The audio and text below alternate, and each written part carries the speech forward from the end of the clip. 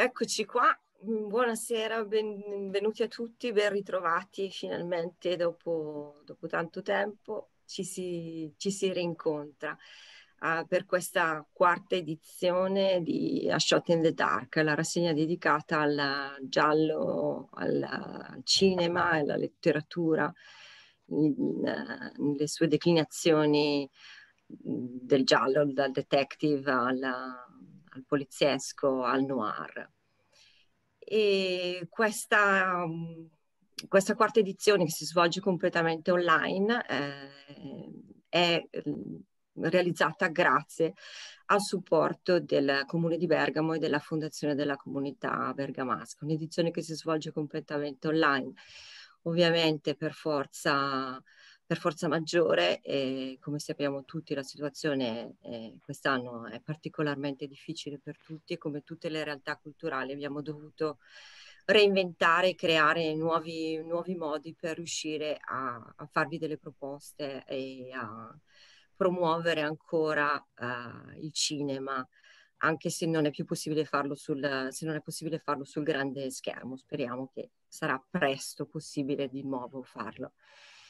Eh, dobbiamo ringraziare per, uh, per, la realizzazione di questo evento, di questa edizione, naturalmente anche tutte le realtà che hanno collaborato alla sua realizzazione, sia i partner tecnici che in particolare eh, l'associazione Laboratorio 80 e la Lab 80 Film, eh, ringraziamo eh, Long Take e Simone Soranna che ieri hanno condotto un incontro molto divertente e molto partecipato eh, sulla, sulla figura del detective nel cinema di genere. Naturalmente ringraziamo per eh, la quarta edizione dell'assegnazione del premio Cavaliere Giallo, ringraziamo l'associazione Cavaliere Giallo che crede molto in questo progetto, visto che è il quarto anno che eh, lo uh, promuove e che eh, lo sostiene con anche grande partecipazione. Per questo siamo veramente molto, molto contenti. Eh, ringraziamo anche tutti quelli che hanno partecipato, naturalmente, che hanno mandato le loro sceneggiature, perché è stato un piacere, è stato divertente per tutti noi e cioè per tutti i giurati. Eh, far, eh, leggere il, le proposte che ci avete mandato, in particolare adesso vi voglio presentare gli altri giurati come quelli che sono presenti, non è presente purtroppo eh, Vincenzo Mani dell'Associazione Cavaliere Giallo, eh, perché questa sera non ha, non ha, potuto partecipare, però vi presento Maria Teresa Zola, che è presidente dell'Associazione Cavaliere Giallo, Hans Tuzzi, eh, scrittore, nonché socio onorario dell'Associazione Cavaliere Giallo e anche presidente della giuria. E eh, Daniela Vincenzi della Federazione Italiana Cineforum. Grazie a voi, è stato un piacere comunque eh, lavorare insieme in armonia anche quest'anno per, per la giuria e personalmente voglio ringraziare anche i miei colleghi che hanno lavorato dietro le quinte eh, per questa edizione, eh, in particolare Anna Maria Materazzini, Simone Voglioni, Ada Tullo e naturalmente Angelo Signorelli. Eh, questa sera avremmo voluto uh, proiettare in sala il film di um, François Truffaut finalmente domenica. Ovviamente tutta questa serata era stata progettata uh, per essere realizzata in presenza. Questo non è stato possibile, però per fortuna siamo riusciti a uh, metterci in contatto e a collaborare con la piattaforma Mubi. Per quelli che la conoscono sanno già che propone un catalogo di film di qualità d'autore, film che vengono da altri festival e, o anche film classici. Un catalogo dove si possono vedere anche, soprattutto film in HD e eh, in, anche in lingua originale e in, uh, con, con, i sottotitoli, insomma poi potete scegliere se invece preferite vederli doppiati, però ovviamente noi appoggiamo la versione originale con i sottotitoli. Ehm, quindi potrete vedere gratuitamente sulla piattaforma Bubi il, il film, l'ultimo film di Truffaut, che è un giallo che fa riferimento a, al noir, ai canoni del noir uh, hollywoodiano e hitchcockiano degli anni 40-50. È molto piacevole perché poi comunque uh, ovviamente mette, inserisce il, il, suo stile, lo stile di Truffaut nel, con uh, i toni dell'ironia e, e, e anche de, della commedia romantica per cui è molto, molto divertente e molto piacevole da vedere e potete vederlo seguendo le istruzioni eh, che trovate sulle nostre pagine social e sul nostro sito internet e anche sulla newsletter che riceverete nei prossimi giorni. E Mubi avete anche la possibilità poi di eh, avere una prova di abbonamento per tre mesi gratuito, quindi ehm, diciamo una, una, proposta che eh, vi consigliamo di non, di non, di non, di non perdere. Io credo di eh, non dover aggiungere altro, eh, quindi lascio la parola a Maria Teresa Azzola che vi condurrà lungo questa cerimonia di premiazione e grazie a tutti di, della partecipazione. A te Maria Teresa. Grazie Fiammetta. Eh, come hai già anticipato, io sono la presidente dell'associazione Il Cavaliere Giallo. È un'associazione molto vivace che ha come fine quello di promuovere e realizzare eh, attività di produzione artistica, spaziando nelle arti. Eh, infatti si chiama il Cavaliere Giallo Amici delle Arti, perché noi spaziamo dalle arti visive all'architettura, il design, la musica, la danza, il teatro e il cinema, appunto ma tutto all'insegna della interdisciplinarietà e della trasversalità, perché a noi piace coinvolgere eh, le associazioni del territorio, le istituzioni culturali e facciamo sempre queste cose appunto in sinergia con altri. E questo dà, secondo me, un valore aggiunto importante. Inoltre vuole essere un laboratorio di nuove opportunità e eh, una delle mission è quello di dare risalto ai giovani talenti e quindi vedete che insomma ci siamo, vuole far incontrare competenze, intelligenze ed energie e, e, risorse di quanti vogliono condividere il sogno di contribuire a, alla vivacità e alla spinta, diciamo, culturale che una città come la nostra merita.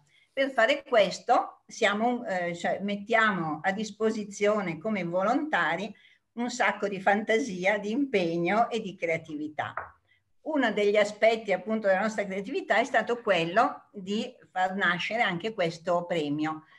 Mm, il premio alla miglior sceneggiatura gialla poliziesca noir nasce da un'idea di Vincenzo Magni, che questa sera purtroppo non è con noi, ma è, è stato un prestigioso past president del Cavaliere Giallo, un accanito lettore di, di gialli e appassionato di noir e quindi dobbiamo a lui la realizzazione di questa iniziativa che si sta affermando sempre di più e che vuole, vuole diventare nel tempo una, un punto di riferimento per i giovani e anche no, eh, di auto, autori di sceneggiature. Quest'anno ci sono pervenuti ben 56 elaborati, tanti. Devo dire che non è stato un compito facile quello della giuria selezionare e giungere ad una rosa finale, perché molti sono stati soggetti interessanti, gli iscritti coinvolgenti e quindi abbiamo dovuto lavorare, approfondire, discutere a lungo. Ci siamo anche divertiti perché alcuni soggetti sono anche molto divertiti, ma questo dimostra eh, la qualità, che, dimostra che la qualità degli elaborati si sta alzando sempre di più e, che, eh, e di questo siamo estremamente felici. Ma di questo ci parlerà sicuramente in maniera più approfondita il, il presidente della nostra giuria, che è noto scrittore, saggista e consulente editoriale, docente universitario al master in editoria, nonché affascinante affabulatore e socio onorario del Cavaliere Giallo eh, Adriano Bon in arte Hans Tuzzi. Quindi con, molta, con molto piacere passo la parola a, ad Adriano. Adriano, a te. Buonasera. Eh, spero di essere un buon affabulatore anche a distanza. Come ha detto Maria Teresa Azzola, il premio, ormai giunto alla sua quarta edizione, è ben vivo e lo dimostra eh, sia il numero di sceneggiature giunte, sia il fatto che quasi tutti gli autori provengano da studi eh, di scuole professionali per la eh, sceneggiatura cinematografica. Questo si vede perché mh, per scrivere un buon testo, sia esso letterario o cinematografico, ci vuole una buona idea iniziale, ma l'idea non basta. Bisogna sapere come svilupparla, bisogna darle un linguaggio, una lingua adatta e bisogna conoscere i trucchi del mestiere. In effetti, per usare una, una immagine ippica, l'addirittura d'arrivo è stata molto molto affollata. Siamo, siamo andati in, quasi in fotografia e questo eh, non lo dico per la consolazione di chi questa sera non è qui e non riceve l'attestato del premio, eh, ma proprio per dare fiducia a questi giovani che si muovono in un ambiente non facile, non facile e eh, reso ancora più difficile dalla situazione in cui si trovano eh, l'Italia, l'Europa e il mondo. Che eh, la ricchezza dei, dei, manoscritti presentati fosse rilevante lo dimostra il fatto che, come già in passato, anche quest'anno abbiamo deciso di eh, andare al di là degli, dei tre attestati previsti dal premio e di eh, dare anche una menzione speciale. L'abbiamo data perché eh, l'autrice è anche la più giovane fra i partecipanti e quindi desideravamo offrirle la conferma della qualità del suo lavoro, che naturalmente nel tempo non potrà che migliorare e depurarsi dei, dei piccoli difetti. Abbiamo quindi una prima menzione, una menzione speciale a La cura di Sofia Ranise, perché la trama ben congegnata presenta ottimi tempi scenici, buoni raccordi interni e una prosa perfettamente rispondente al compito prefisso. La giovane età dell'autrice fa perdonare un finale che si lascia tentare dall'eccesso. Come già per le precedenti edizioni, ce ne offre una prima lettura Riccardo Nisimo Onorato, che ringrazio qui a nome di noi tutti.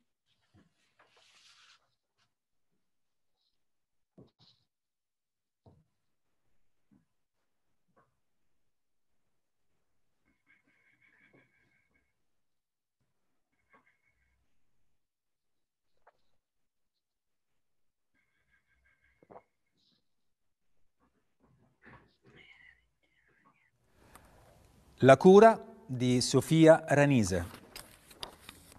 Interno studio terapista, sera.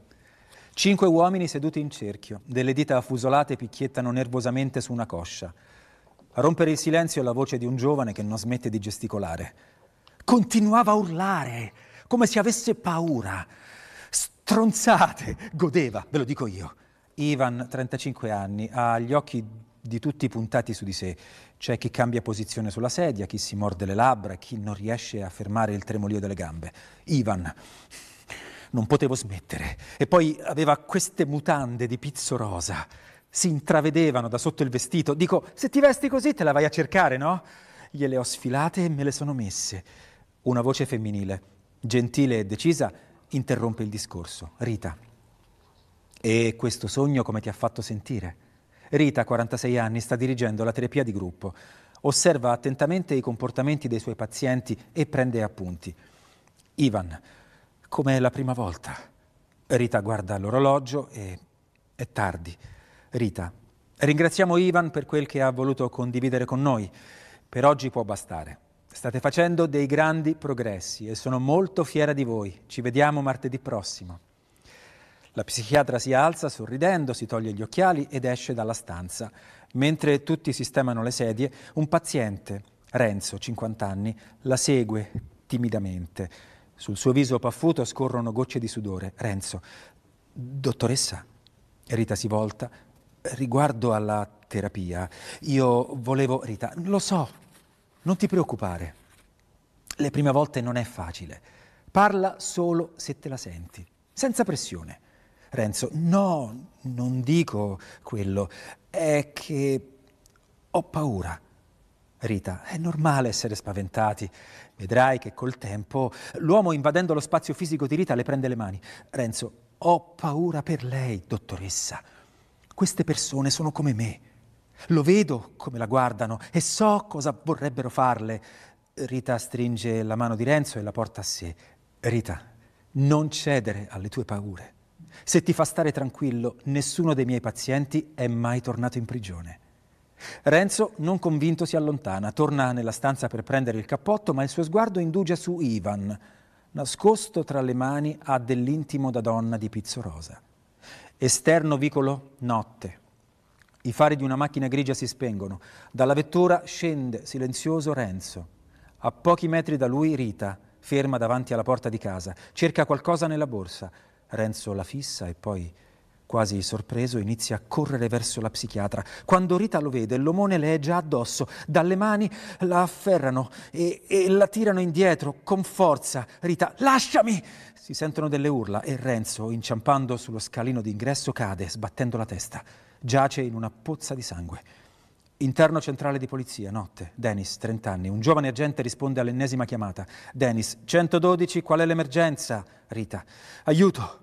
C'è un uomo morto, non respira, credo, credo, credo di averlo ucciso. Brava Sofia, complimenti. Allora, eh, sei molto giovane e hai affrontato un tema davvero molto delicato e molto complesso. Come ti è nata l'idea di questo racconto? Uno, e poi raccontaci un po' chi sei, che cosa fai e quali progetti hai per il futuro. Eh, innanzitutto ringrazio davvero tantissimo, sono molto emozionata. Sono Sofia Ranisi, ho 17 anni, frequento il quarto anno del liceo classico e devo dire che per spiegare ehm, come mi sia venuta in mente questa, questa idea, paradossalmente non, non, riesco a trovare le parole perché è un'idea che, che mi è venuta scrivendo. Io scrivendo, scrivere per me è una passione che ho avuto fin da quando ero piccola e soprattutto poi con, eh, sostenuta da, dalle persone che mi, stanno, che mi sono state vicine, come per esempio eh, Ornella Bramani, che ha creduto nel mio primo tentativo. Eh, diciamo che mi sono avvicinata a questo mondo che è la sceneggiatura, che è la scrittura, che mi ha portato a chiedermi, spinta soprattutto dalla curiosità, come ci, ci si senta a creare eh, dei personaggi in cui gli altri si possano rispecchiare magari anche negli eventi più drammatici, nelle sfumature delle personalità e a decidere le loro sorti.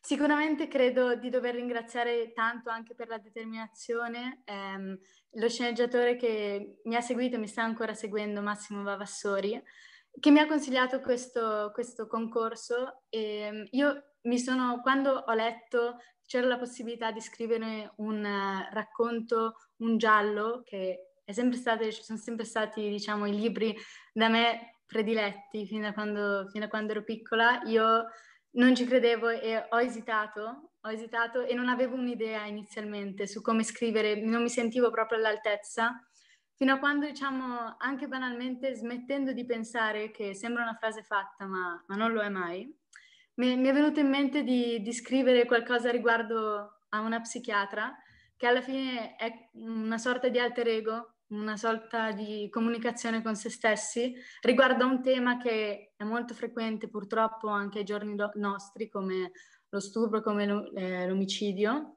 e sicuramente non mi aspettavo di ricevere questa attenzione e, e io cioè, sono davvero molto emozionata e ringrazio tantissimo anche per questa lettura, mi trema la voce, sono davvero ringrazio tutti quanti.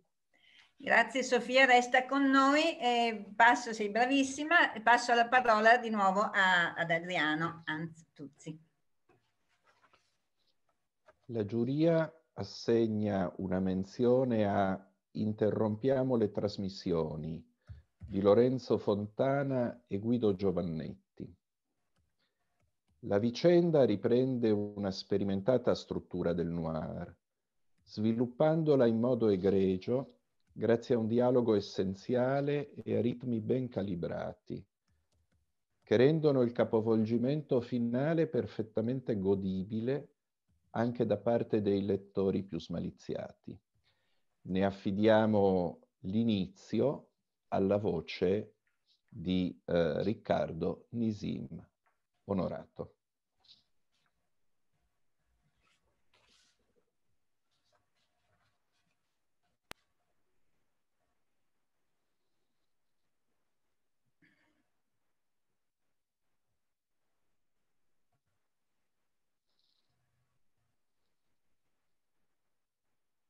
Interrompiamo le trasmissioni. Giovannetti e Fontana.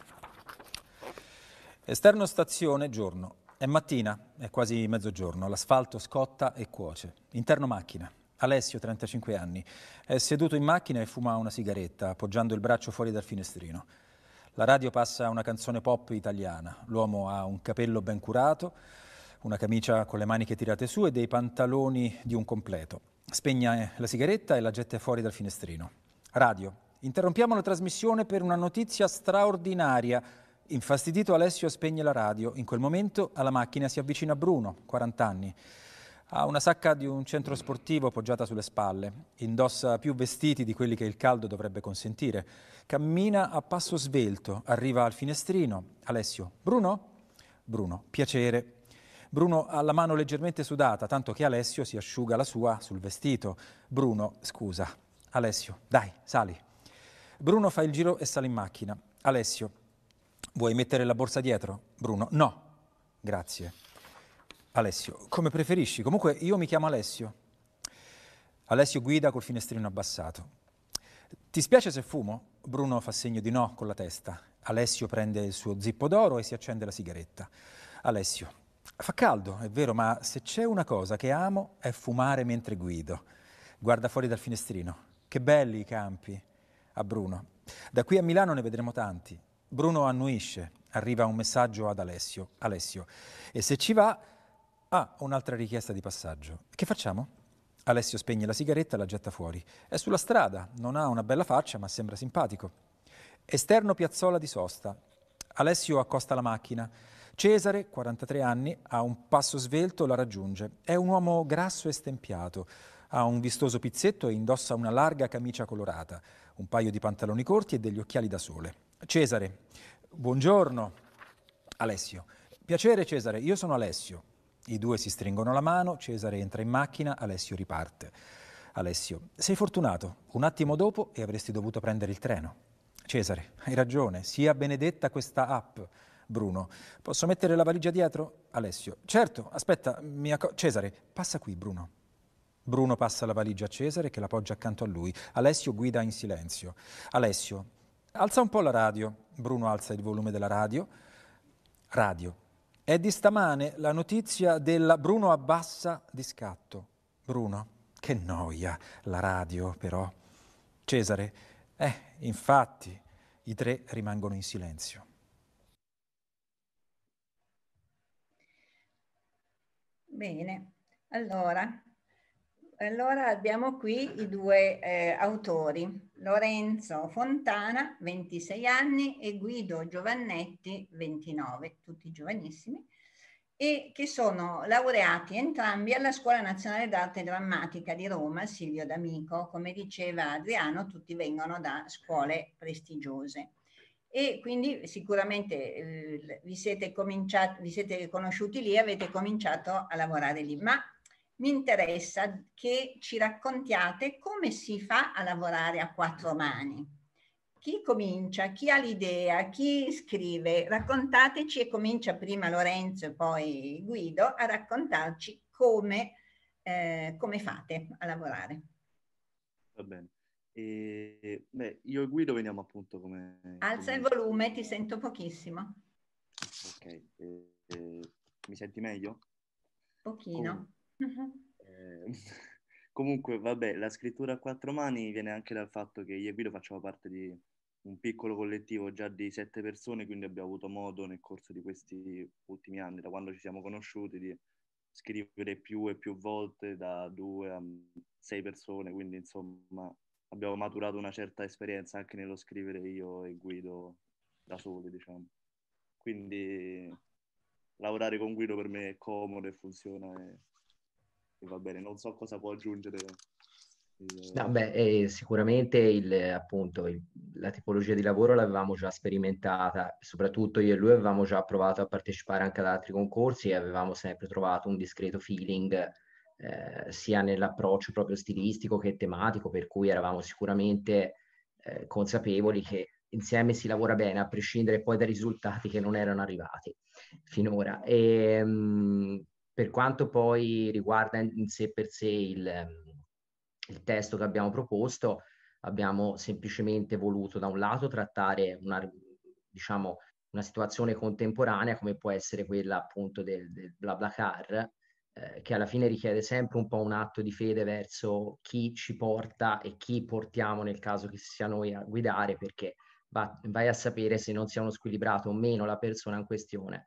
E abbiamo poi giocato molto su questo, facendo eh, crescere la tensione rispetto ai due criminali che eh, il buon Alessio si carica in macchina per poi invertire improvvisamente la prospettiva sul finale e quindi eh, realizzare il colpo di scena che vede il criminale vero e proprio essere il guidatore, molto più pericoloso dei due che si è portato dietro. Eh, grazie. Eh, passo la parola a, ad Adriano.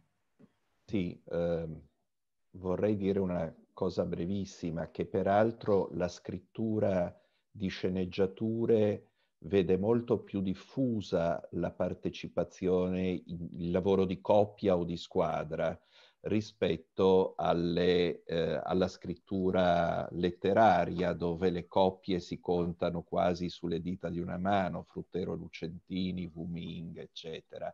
Il cinema o la televisione sono un po' come le cattedrali, ci si lavora in tanti e questo rende anche rispetto al lavoro in sé più difficile naturalmente trovare i mezzi economici per mettere in piedi la realizzazione di un progetto, ma questo non vuole scoraggiare nessuno dei partecipanti. La seconda menzione del premio A Shot in the Dark è a Pas en Jouet di Giulio Fabroni giocando con disinvoltura su un passato che sogna il nostro futuro, l'autore imbastisce una trama con un, con un antieroe al di sotto di ogni aspettativa, Jacquard, e seppure con una sbavatura filologica sul curaro, conduce in porto un gradevole e autocompiaciuto, sin dal titolo, divertissement come si può cogliere dalla lettura di Riccardo Nisim Onorato.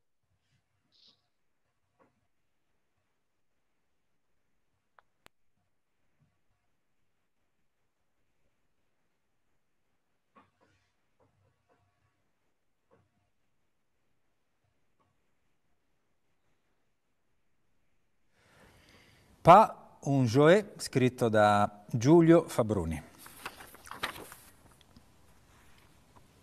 Esterno notte. In un vicolo parigino stretto e ombroso sorge un negozietto al cui interno la luce è ancora accesa. L'insegna, decorata con l'illustrazione di un pupazzo a molla che schizza dalla scatola, recita «Ceci n'est pas un jouet». D'un tratto, uno starnuto squarcia la notte. Ghignol «Aciù!» E poi un sussulto. Ghignol «Ah!» E un tonfo sordo. Voce di donna, voice over.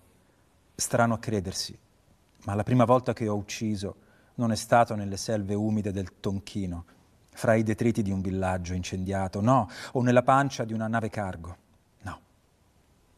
Esterno negozio, se si ne pas un jouet, giorno. Nonostante il vicolo sia intrappolato fra palazzi più alti, un po' di sole è arrivato, a battere anche sull'insegna di se si Come al solito, per strada non c'è nessuno, calma piatta, qualche piccione sui cornicioni, voce di donna, voice over.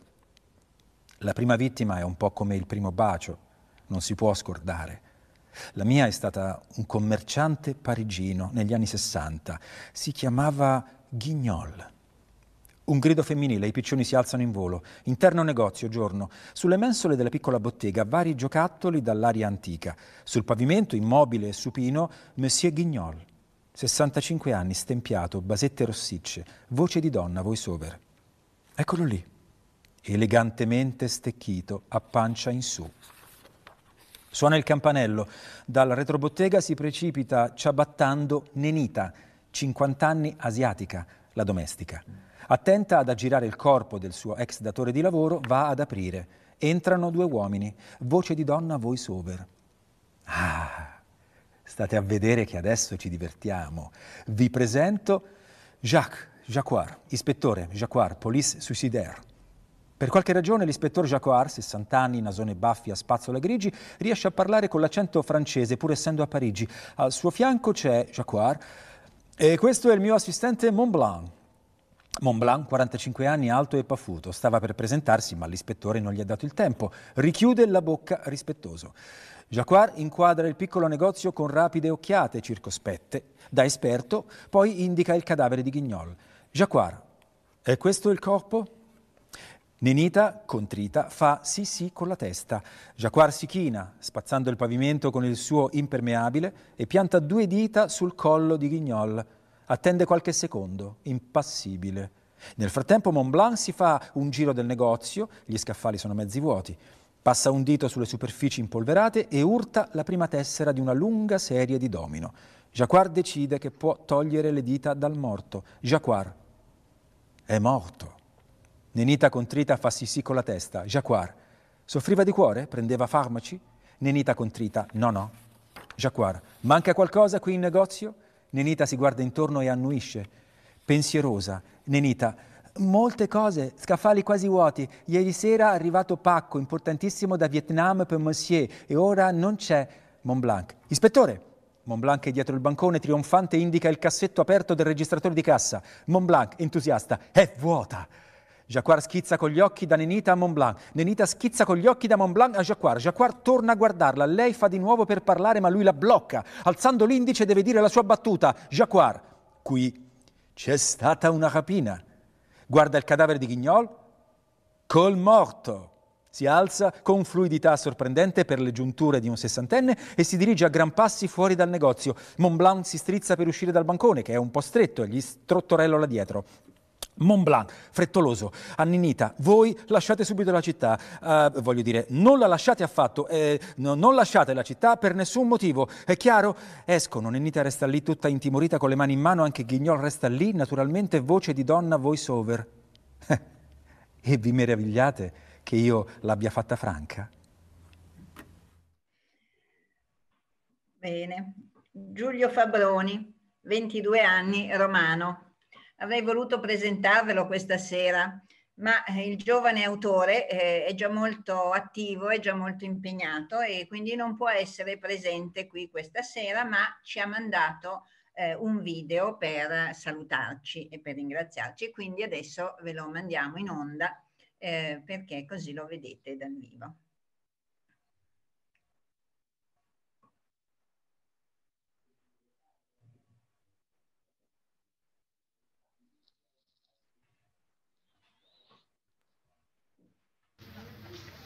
Buongiorno a tutti, sono Giulio Fabroni, l'autore del cortometraggio Panjue. Mi dispiace molto non poter essere con voi alla, alla, premiazione, ma come vedete sono su uno dei pochi fortunati set che ancora riesce a lavorare. Speriamo che continui ad essere così. Eh, in questi tempi un po' scuri è un piacere sapere di premi come il vostro, che continuano diciamo, a portare avanti il lavoro della cultura e quindi grazie molte e buon proseguimento. A presto. Io non so voi, ma io non l'ho visto. Anche voi, ah, ecco, no, non ero è, l'unica. Beh, è, è, un, è, è un soggetto coerente. noir proprio, più noir sì, è rimasto coerente con il tutto. La voce voice over, no? Una... Infatti, per cui eh, Adriano, passiamo alla... E arriviamo al primo premio consistente nella somma di 1000 euro che quest'anno non verranno consegnati ma bonificati, verbo mai più adatto come in questa occasione all'autore, che è Michele Gallone per la sceneggiatura Un padre.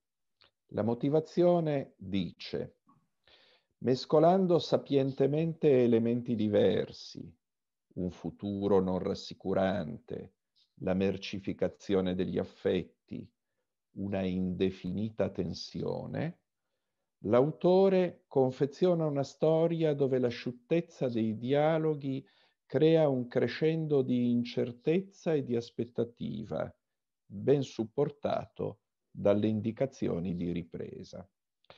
Questa sottile inquietudine sospesa sin dalle prime battute della sceneggiatura rivive ora nella interpretazione di Riccardo Nisimo Onorato che ringraziamo per la sua vicinanza al premio A Shot in the Dark.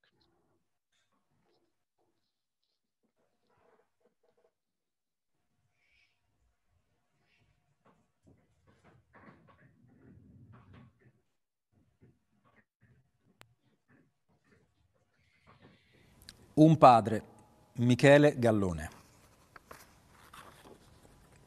I fumi densi di un soffione boracifero si innalzano mm, dalla terra arida macchiata di zolfo fino al cielo terso. Didascalia in sovraimpressione. 2033. I sentimenti sono in vendita. È legale vendere un proprio sentimento a un'altra persona che nutrirà quel sentimento per il destinatario connesso. Non è legale vendere il sentimento nutrito da qualcun altro per sé. Per quest'ultima operazione esiste un florido mercato nero. Esterno bar giorno. Francesco, 45 anni. Fuma una sigaretta fuori da un bar. Qualche macchina sfreccia per la strada. È mattina. L'uomo si volta e lancia un'occhiata attraverso la vetrata del locale, in cui intravediamo una bambina seduta a un tavolo. Francesco spegne la sigaretta ed entra. Interno bar. Anna, 9 anni, è la bambina seduta al tavolo. Francesco le si siede accanto, dandole un buffetto affettuoso sulla guancia. Scopriamo che di fronte ad Anna siede un altro uomo, Mario, 40, 53 anni. Mario, quant'era? Francesco, ah, lascia stare, ho fatto io. Un lungo silenzio. Anna divora distrattamente il suo cornetto. Francesco, ci metti molto da casa tua fin qui? Mario, un quarto d'ora. Francesco, beh, è fattibile. Mario non stacca gli occhi da Anna, sembra studiarla con un misto di attenzione e pudore. Mario, sta qui la scuola, no? Francesco, dietro l'angolo. Interno ufficio, giorno. Mario e Francesco sono seduti di fronte al notaio. Notaio. Per procedere ho bisogno di una dichiarazione sulla motivazione personale da parte dell'esercente. Francesco. Va bene. Dietro il notaio su un monitor scorrono alcune immagini di Anna. Mario ha uno sguardo serio e indagatore. Notaio. Per quanto riguarda l'altra parte della compravendita, sapete che le pene previste per chi vende sentimenti altrui sono severe, quindi comprenderete le ragioni della somma che vi ho chiesto. Siamo tutti convinti allora, Francesco? Sì. Mario. Ho una domanda. Notaio, prego. Mario. In un caso simile funziona al 100%? Voglio dire, lei continuerà a sapere che non sono il padre biologico, giusto? Notaio. Questo è un problema che si pongono in molti, ma non esiste. Non ci saranno modifiche sul ricordo o sulla coscienza, ovviamente. In ogni caso la bambina sarà legata a lei, le vorrà bene come si vuol bene a un padre e lei altrettanto, alla sua maniera. Ovviamente agli atti risulterà soltanto l'acquisto del suo sentimento per la bambina. Francesco, e come funzionerà concretamente, notaio? Basteranno i moduli compilati e la vostra firma digitale. La macchina farà il resto. Vediamo, ricontrollo. Scusate, ma... Eh il 21 aprile la transazione è programmata per la notte tra il 20 e il 21 aprile, condotto a 24. Vi risulta? Bene, allora un padre di Michele Gallone, 28 anni, milanese, una laurea magistrale in scienze filosofiche con la tesi sulla Cannes. Si sta diplomando al Centro Sperimentale di Cinematografia di Roma e al suo attivo diversi lavori come montatore sceneggiatore, ma anche regista. Allora, Michele, che emozione hai avuto nel sapere che sei il vincitore di questo concorso e quali progetti hai nel cassetto? Eh, buonasera a tutti, mi, mi, si sente? Sì, perché sì. il microfono. Buonasera a tutti. Sì, no, io voglio ringraziare tantissimo la giuria, è stata una grandissima emozione e poi anche, devo dire, il fatto di avere questa lettura da parte di una voce così importante, nota del doppiaggio italiano è veramente una grande, una grande emozione, un grande piacere. E poi vorrei ringraziare tantissimo anche Sara Parentini, che è la mia ragazza, che studia nello specifico sceneggiatura al centro sperimentale, i suoi consigli, le sue letture con me, i suoi spunti sono stati molto utili per il lavoro. Io in realtà studio montaggio al centro sperimentale, mi sto diplomando adesso, quindi tra i progetti imminenti ci sono il diploma, lo stage, e, e però nel tempo libero mi piace tantissimo anche scrivere sceneggiature, quindi quando riesco coltivo volentieri anche questa seconda passione. E, e quindi veramente grazie mille, sono felicissimo, non me l'aspettavo, devo dire, non me l'aspettavo perché perché mi rendo conto che non è una sceneggiatura che corrisponde perfettamente ai canoni del giallo, del poliziesco, nello specifico, però comunque sicuramente si tratta di un thriller per certi versi e quindi sono felicissimo. Grazie Michele, eh, devo dire che sì, a me ha emozionato, per cui mi, ha, mi, ha, anche colpito molto. E quindi ringrazio prima di tutto tutti voi eh, che siete qui questa sera. Ah, ecco, no, volevo dire che tutte le menzioni, a tutti quelli che hanno ricevuto la menzione, eh, riceveranno una pergamena che di solito quando siamo dal vivo consegniamo a mano, ma questa sera è impossibile e eh, vi verrà recapitata per posta. Eh, perché è importante che rimanga appunto così l'attestazione, la traccia di questo, di questo evento e di questa appunto attribuzione di, di queste eh, menzioni.